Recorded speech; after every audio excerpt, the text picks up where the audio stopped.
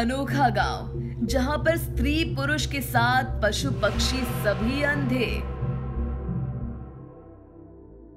आँखों की रोशनी के बिना ये दुनिया बेरंग है। जो लोग देख नहीं सकते, ये बात उनसे बेहतर कौन बता सकता है? आँखों के बिना ज़िंदगी के किसी भी सुख का आनंद नहीं ले सकते हैं। जिन लोगों के पास आँखों की रोशनी नहीं है, उनको कई प्रकार की परेशानी का सामना करना पड़ता है। आज आपको एक ऐसे अनोखे गाँव के बारे में बताने जा रहे हैं, जहाँ पर सभी लोग अंधे हैं। आपको ये जानकर ताज्जुब होगा कि यहाँ पर इंसान के साथ साथ पशु और पक्षी भी अपनी आँखों की रोशनी खो चुके हैं। ये सुनकर भले ही आपको यकीन ना हो, लेकिन ये बिल्कुल सच है। मेक्सिको के प्रशांत महासागरीय क्षेत्र में टिल्टबेग नाम का एक गाँव है। इस गाँव में करीब 60 झोपड़ियाँ हैं, जहाँ 300 के करीब रेड इंडियंस रहते हैं। आपको ये जानकर हैरानी होगी कि इस गाँव में किसी के घर में ना तो बिजली है और ना ही दीपक है। इन लोगों को दिन और रात में कोई अंतर नहीं लगता।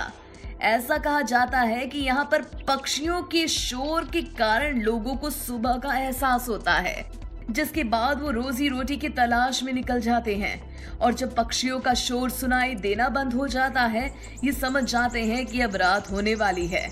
फिर सभी लोग अपनी अपनी झोपड़ियों में चले जाते हैं। यहाँ के लोग पत्थर की बनी झोपड़ियों में रहते हैं और पत्थरों पर ही सोते हैं। जापुटेक जाति के ये लोग घने जंगलों के बीच रहते हैं और सभ्यता और विकास से काफ़ी दूर हैं।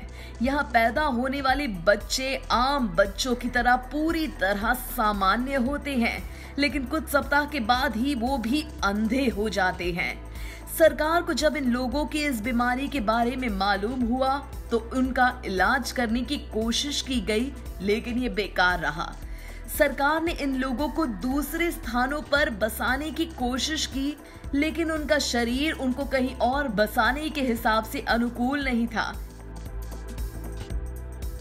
इसके लिए उनको उनके हाल पर छोड़ देना पड़ा।